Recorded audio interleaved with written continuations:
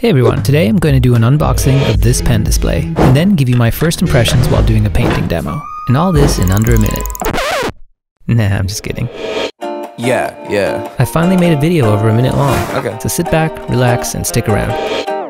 But first off, let me just say that this video is not sponsored. But a company named Veikk did provide me with this pen display to do an unboxing. The pen display itself is the VK1200, which is an 11.6 inch pen display that plugs into your Mac or PC, so you can use it with any desktop digital drawing software. They also pitch it as an online education and or remote office tool, since it's basically like having a second monitor with pen capabilities.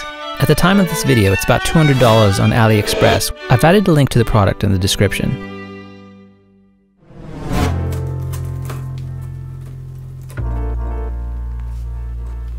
So what's the unboxing experience like?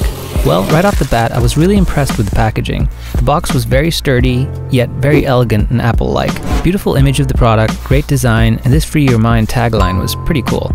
Inside the box, everything is packed nice and snug. Here's the actual device nicely protected in this bag. And here's the warranty card and an artist's glove, which is kind of a great thing to include. And after removing this hidden compartment, there's a bunch of other goodies. We got a cleaning cloth, some cables, extra pen nibs of different types, driver download information, and a quick start guide. They also provide a pen holder, and what's neat about it is that you can put all your nibs inside of it. They insert into this foam padding for storage and safekeeping. Here's the top that screws onto the bottom of the pen holder, and it all comes together like this. Definitely looks smart on your desk.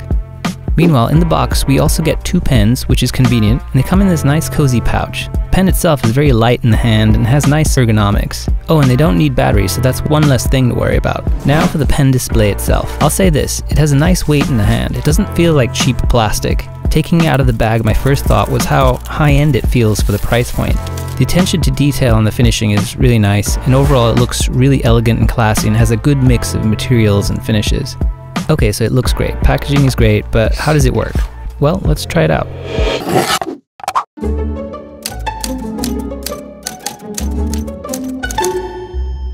Connecting and powering the device basically takes two cables. One is a USB power cable and the other is an HDMI cable that connects to your Mac or PC.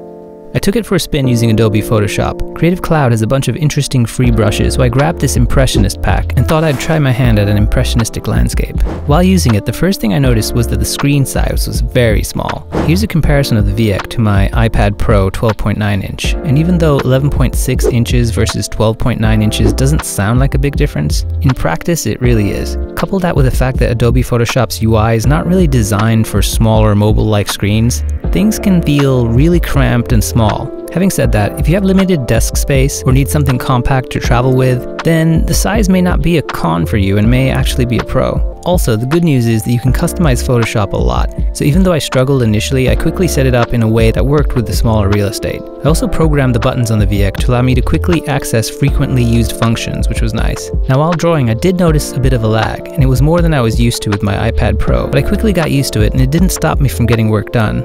Regarding calibration, here's the kind of accuracy I was getting in the far corners, which is where these types of tablets struggle the most. Here you can see for yourself how it handles small UI elements. Overall, once I got into a rhythm and overcame the learning curve that comes with new tools and software, I was able to focus on making art and that's the most important thing. I did miss being in Procreate on the iPad, not gonna lie.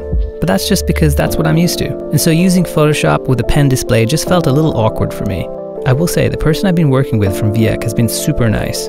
And that always helps build your confidence in a company, so take that for what it's worth.